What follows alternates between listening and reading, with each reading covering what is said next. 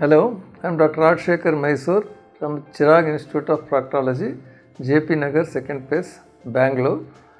Uh, I have started this colorectal uh, unit 25 years back to give the best for the patients, especially in proctology like piles, fissures, and fistulas. Colon cancer is a very vague term because colon is a very big tube starting from what we call as the cecum up to the uh, rectum. So these signs and symptoms, it's not exactly signs, what we call as symptoms. Symptoms is what the patient complains of. So there are, uh, depending on where the cancer is situated, there are different uh, types of uh, complaints or symptoms will be there.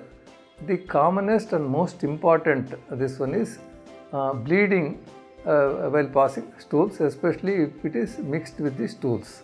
So that is a, a ominous sign, especially if they are elderly people who have to do something called colonoscopy.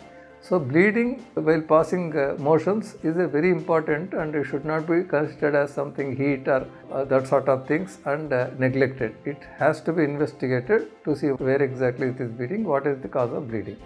Second thing is pain while passing motion. If it is in the lower end, it is in the rectum and all, patient may have pain while passing motion or even pain continuous pain in the pelvic region. Third thing is a change in the bowel habits. That is whether there are any change whether it is loose motion or uh, hard stools or uh, alternate uh, hard stools and loose motions in a, a person who was passing uh, regularly and normal uh, stools.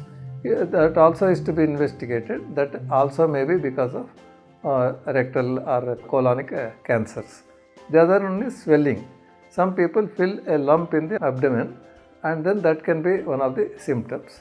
The other one is what we call as mucus diarrhea, lot of uh, loose motion type with lot of uh, sticky uh, mucus discharge will be there. So that uh, may be one of the symptoms. Uh, if it is very uh, advanced stage, they may have jaundice, where the cancer has spread to other organs, they may have urinary symptoms, they may have low back ache, they may be having a pain referred to the thighs, referred to the hips. These are the other uh, rare uh, manifestations or symptoms of uh, any colonic cancer.